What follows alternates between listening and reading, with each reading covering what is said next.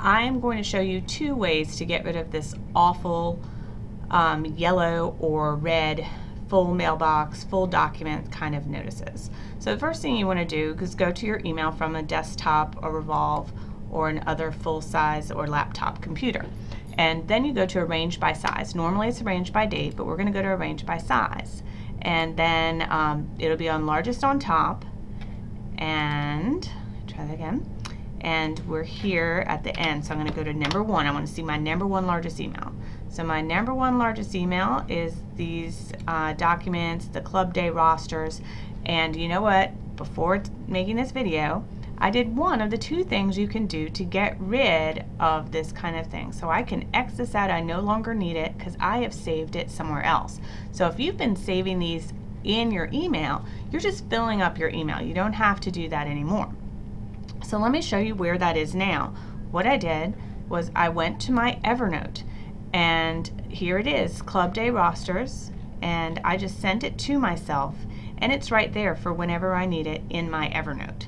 There are other, there's another thing you can do. So let's go back to our almost full email and see what else I can share. So um, I don't need these ASCD Smart Briefs, so I can get rid of those. And let's say though that I do want, I definitely want Miss Curtis's spring map testing.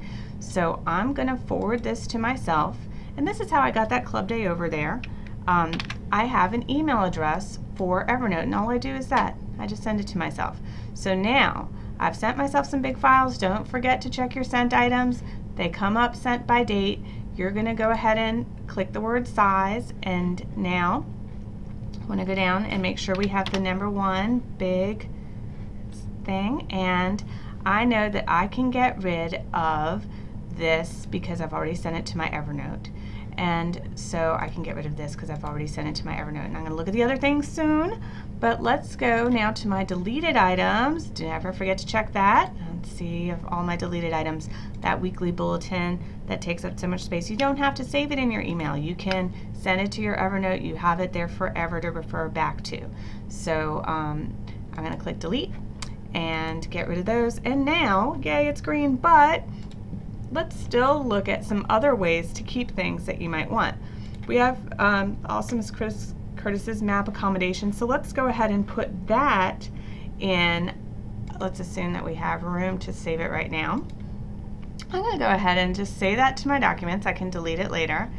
And if you your documents are full, what you do is just go upload a bunch of them to the other option besides Evernote, which is Google Drive. So the thing about Google Drive is you can't just forward. You do have to have a place to download it first. But once you download it, you can click Upload Files.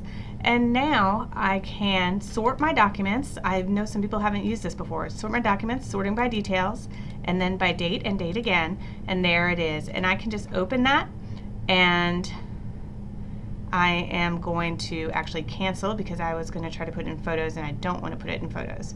I'm going to go to my main drive and I want to upload it, files, and so details and date, date again, there it is. And this is a, all the things that I have done in order and so I can always um, add as much as I want. Click open and it's uploading it and I will have the map accommodations here for me. And in fact, I could even share it with everybody in CMS, everybody at Piedmont, uh, a coworker that I'm working on it with or something like that.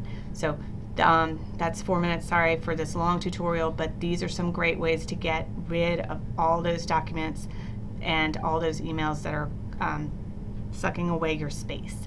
And so actually, whenever you click files, your documents always come up. So you can um, go ahead and sort and I always kind of take the newer ones but you can upload entire files entire folders by just um, clicking that upload button on Google Docs thanks a lot